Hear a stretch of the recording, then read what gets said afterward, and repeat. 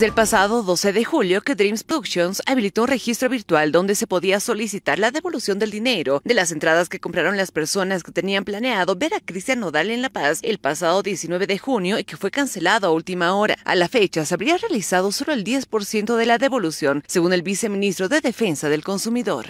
Eh, es una devolución muy lenta.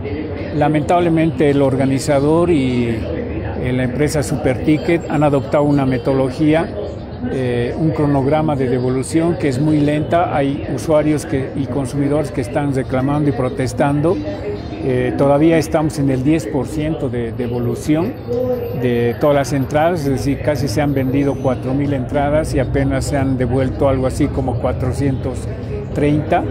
Eh, les hemos solicitado que puedan agilizar la devolución de entradas, como también estamos pidiendo a la autoridad jurisdiccional que eh, a tiempo de emitir la resolución que defina la situación legal de la persona que está detenida, se puede exigir una garantía personal y una garantía real a fin de garantizar la devolución de todos los recursos económicos que se han recaudado por la venta de entradas.